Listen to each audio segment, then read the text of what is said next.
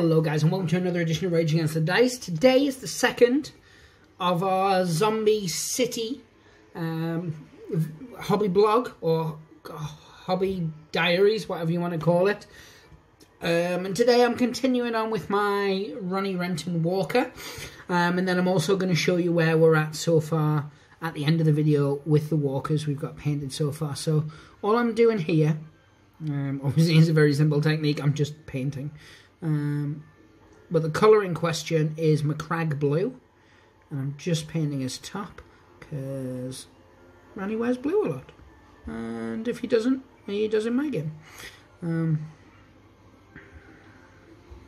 so what I tend to do with these, full disclosure, is I tend to just paint them up normally. So I will paint like his hair. I've finished his hair. Um, I've almost finished the skin, so I'll paint him up as if he was a normal model. Um, you know, all the same way I would if it was one of the hero characters um, or villain characters, but an alive character, I mean. So I'll paint him up like that. Um, and then once he's finished, then I'll start to dirty the model up. So that's when I'll go, alright, well, he might need some blood here, might need a bit of dirt there. Now the reason I do it like that is because that way, if I finish him and I don't think he needs it, I don't have to add it. Um, whereas if I start trying to dirty it as I go, you get bits that don't look right, if that makes sense. So what I do, as I said, is I just paint him up. I paint him up as if he was a normal, normal model. Then once he's finished, I'll do the dirt mainly all together. Um, and that'll be a mix of some washes and some pigments and, you know, I try and keep them less realistic than I would with a lot of the stuff I paint. Obviously, I paint a lot of historical, um, and with that, you're wanting your colours to look quite realistic. But this is comic book. Um, I mean, if I was going to be totally accurate, I'd be painting them in black and white, wouldn't I? But um, I've seen a load of people do that, and it looks really good but because I want to use the walkers for other things, um, one of which being Zombie City and Project Z, even though it's defunct.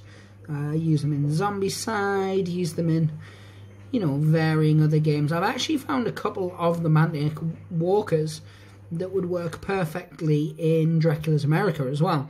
Because they're zombies, or walkers, depending on what you want to call them, they don't look strictly time period like that. He looks quite time periody. Um, and see, all I've done is I've given him a watered down base coat of Macragge, um, Macragge Blue, which is a Games Workshop paint. Um, and then I'll need to give him a second coat, obviously. Um, and then after that, I'll give it a blue wash. And then we'll pick it out. I'm going to go for like a grey for the trousers. Let's get, actually get him in camera. Would help. And once again, I am using those brushes that you may have seen in one of our uh, brush review videos. Um, we're on brush review 3 now, I think, actually. Um, maybe 4. It's, I film a bunch of stuff at one time, like I filmed a couple of the brush reviews at the same time. Um, I filmed a couple of the other videos at the same time. With regards to the diaries, I am trying to keep them a week apart because trust me, I've got many, many things to be painting in the meantime. Um, there's still a couple of days left on the um, Bot War Challenge videos. Um, I've got more Bot Wars models to paint outside of that. I've got some historical stuff to paint. I've got some more Strontium Dog and Judge Dredd stuff to paint. So I'm not sure of a thing or two to paint. But yeah.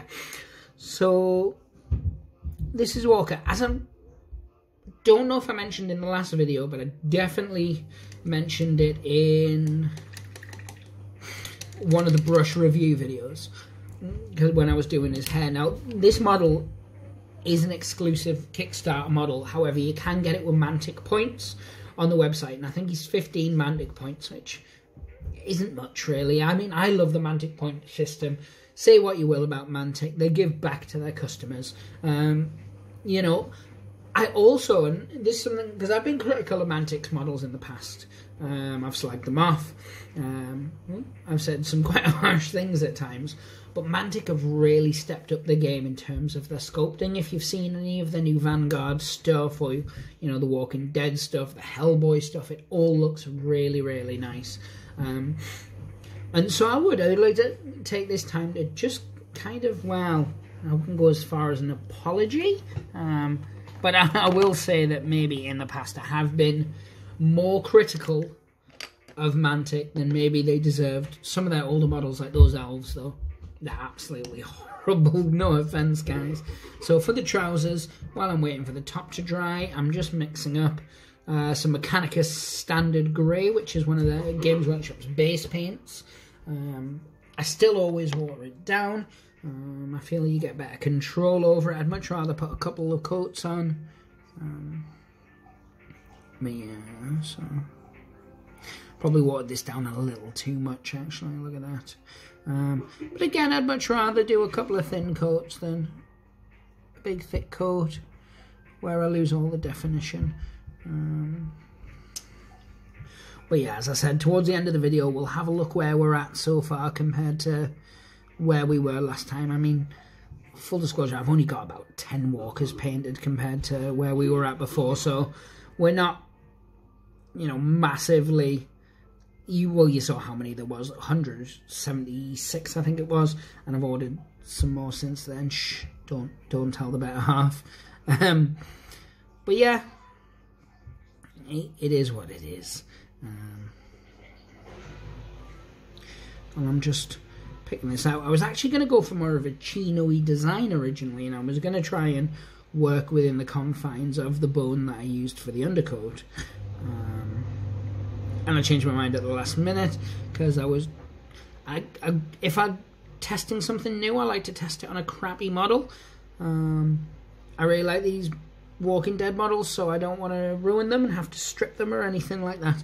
So I was testing it out on just one of the cheaper uh, Warlords old zombies from the now defunct um, Project Z range, and I, in the end, I didn't like it. Now you'll notice I've left the collar.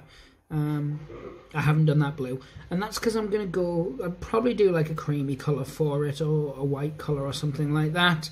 Uh, very Manchester City. Obviously, that blue isn't. That's too dark. Um, that's about the extent of my football knowledge these days. Is the color of strips. Um, in fact, I don't I don't think football strips even have collars anymore, do they? Um, but yeah, I, am going to do that like a creamy colour, and that's because if I decide to add some blood and stuff to it, I think that will look really, really good. Now, what I'm going to do, because I'm super lazy, I'm going to stop the video now, and I'm going to go and I'm going to hairdry this. I work with hairdryers a lot. You can pick up a cheap travel hairdryer for like four or five quid from Tesco, Argos, Sainsbury's, um, yeah, any of those little stores, Asda sells them really cheap. Uh, it's a quick way of drying your models. Be very careful though, don't do it to resin models because they'll gloop. Um, and you can find it does it with certain plastics. These seem fine, so I'm going to go give this a blast to dry it so I can get the second coat done while I've still got paint on the palette. I'll be back. So yeah, here we go, we're back. Um, that bump in the background was just my child nearly dying. Are you okay, buddy? Yeah. He's okay good. Um, oh, I don't know about anybody else, but lockdown and parenting um, makes you appreciate people who used to be stay-at-home mums, doesn't it? Um, or stay-at-home dads. Um, they exist, obviously they do. Um, but you know, a time period when both parents didn't tend to work. Um, your 60s, 70s, maybe some of the 80s actually. Um, you, you kind of they they were saints. Like I love my children very very much. They are my whole entire world. Um, but my God, do you only realize how much hard work they are when you've got them seven days a week, from the second they wake up until the second they go to bed. No school. no, no nothing. Um, the joys of being furloughed, I guess. Um, yeah. So at one point it looked like I might completely lose my job uh, which didn't happen. Um, another point, it looked like I was going to be able to work from home the whole time. Um, after a week or so, that couldn't happen because most of my job involves getting engineers to go into other humans' properties. you can see why why that wouldn't work given the current crisis.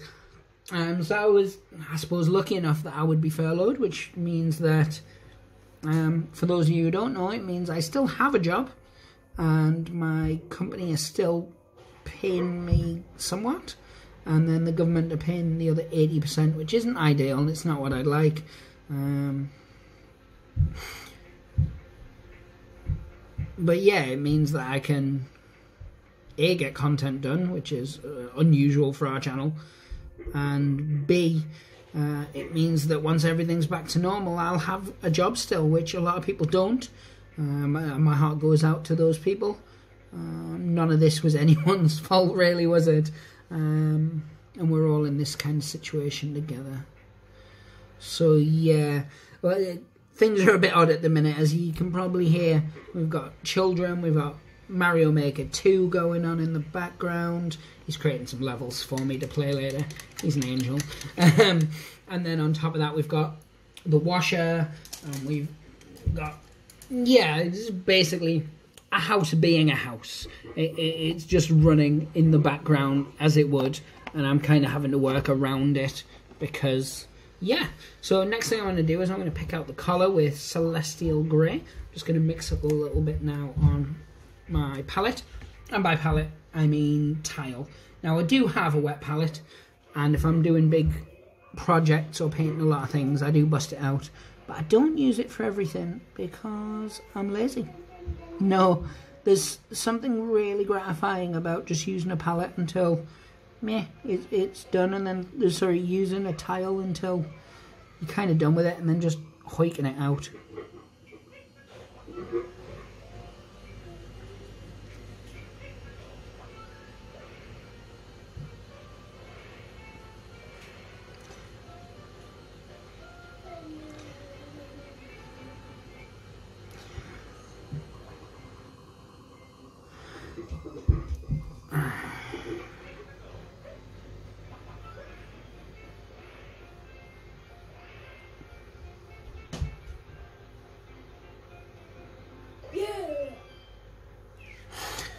I do apologize. I just realised that I keep going out of frame.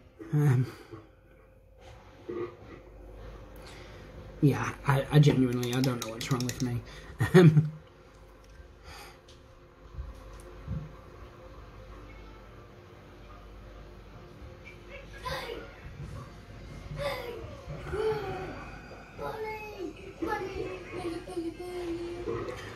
So yeah, we've got a bit more done on this walker. Now, if you follow us on Instagram, you're probably going to end up seeing this fully painted up on Instagram before the video actually goes out.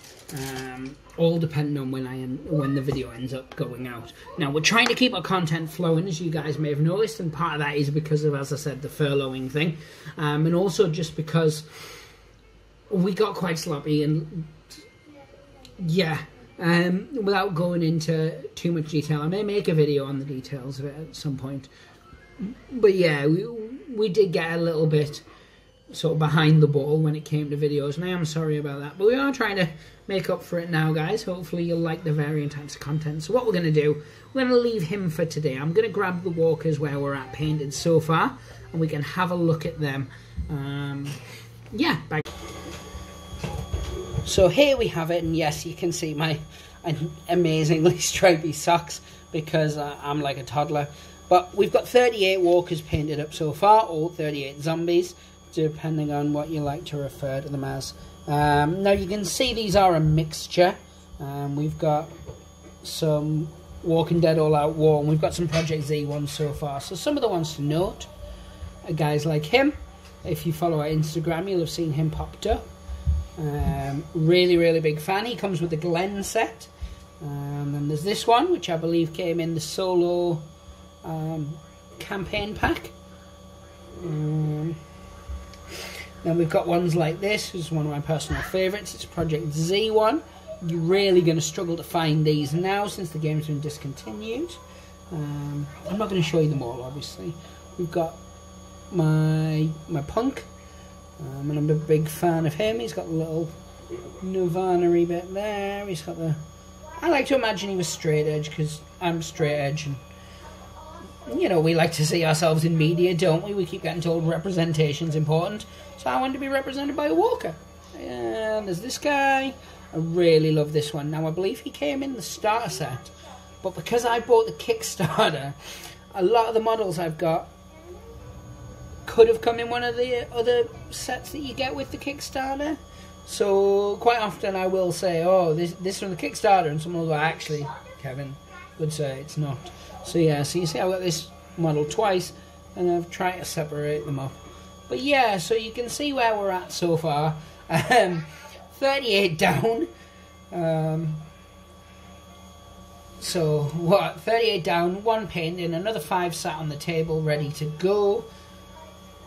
A lot still remaining. So yeah, next time, um, hopefully I'll have had the Ronnie miniature finished, and I'll have started on the other five, and you guys can get to look at that. I'm mainly trying to get the Mantic ones done first because they, realistically, they're the most dynamic um, th- there's so much more detail. They're slightly bigger, um, but I think it adds for a nice little touch. Like things like her, she's she's very dainty, very frail. I like that, um, and it contrasts quite nicely with, as I said, the big, bigger ones like the the mantic ones. Um, but yeah, I think they've each got some nice little touches. There's some bits I like. There's some bits I don't like. Um, I'm trying to give them character. I realise I've got multiples of the same one, so I'm, I'm, trying to spruce them up. But anyway, guys, this is the second part of our Zombie City um, video diary slash blog slash vlog, whatever you want to call it. Uh, the next video, while I'm showing you up and we're doing a bit of painting, not showing you up, as I'm showing you where we're up to and getting a bit of painting done, uh, what we'll also do is I'll run through a few of the little rules uh, for the Zombie City big game that we're going to be doing. Um, I can let you know I've ordered a load of sprays from Amazon so that I can get the models, uh, sorry, the buildings sprayed. Um, I'm using some decals that I got, some with the Judge Dredd game and some that I just found online to add some graffiti and things like that to the buildings. I want them to feel like, yes, they're still lived in, but maybe only recently abandoned town. The vibe I'm going for is I don't want them to look completely derelict like the fallen bits. Um, but at the same time, what I don't want um, is them to look brand spanking new. I want that nice little crossover so I can use them in other games, but so they are very Walking Dead.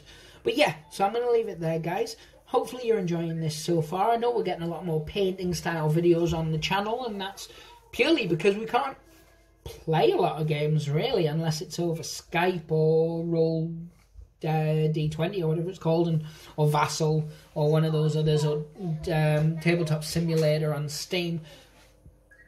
And and obviously that's not kind of an area we cover. It might get to an area that we have to cover out of necessity, but as things stand, we're leaving things as they are. I will try and get some solo play stuff up on the channel, and maybe by the time this video goes up, I'll have already got some solo play. I'm not sure. But anyway, guys, I'm going to leave it like that. Give us a like, give us a subscribe. Uh, it's the first time you've ever checked out our channel. Go see some of our other videos. We do cover The Walking Dead quite extensively. We've got hours and hours of gameplays and how to plays and things like that. So check them out. Um, check out some of our vlogs. If you are into your RPGs, we've got a new series that runs every Wednesday, which is called Vince Reviews, where he looks at um, RPGs, usually in PDF forms, so you can see it on the screen and things like that. We've got Paint with Nate that goes up on Saturdays. Now Nate's got a new camera, hopefully that should be back every Saturday. Um, we're going to try and keep the content coming for you. But honestly, give us a like, give us a subscribe. If you like what we do, let us know in the comments. If there's something you specifically want to see, let us know. And if you give us a thumbs down, that's perfectly fine. I understand not everyone's content's for everyone, but if you are going to give us a thumbs down, let us know why you gave us a thumbs down. We can't improve and change our content if you don't let us know what it is you didn't like about it in the first place. So if you're going to give us a thumbs down and it's just because you think we're dickheads, fair play just let us know we're dickheads. As long as the language isn't too like vile, I'm not. I'm gonna let it stay up there. We only take out really bad, and we get very few. Um, but if you've got a genuine criticism that you think, there's a biker guy while we're chatting. But yeah, if there's a genuine criticism you think actually this is something I do not like, uh, could you fix it? Um, maybe it's the audio, maybe it's the fact that I can't keep a bloody model in um, focus. Let us know and we'll work on it. But yeah, as you can hear, my wash is finished, so I'm going to hang some washing out. I know, rock and roll. As I always say, pretty dice gods know the smile upon you and take care. Thank you so much for watching. Take care, guys. Bye and stay safe.